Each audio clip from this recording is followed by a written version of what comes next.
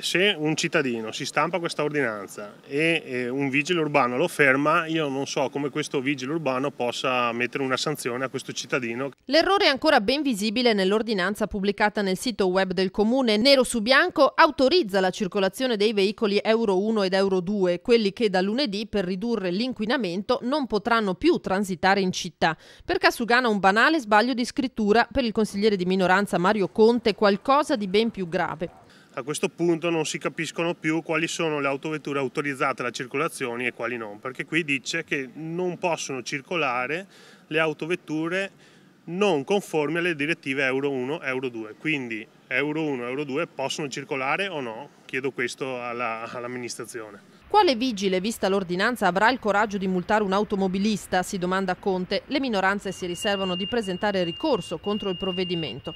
Assolutamente, valuteremo tutte le strade percorribili per tutelare i cittadini da questa ordinanza che secondo noi non ha senso.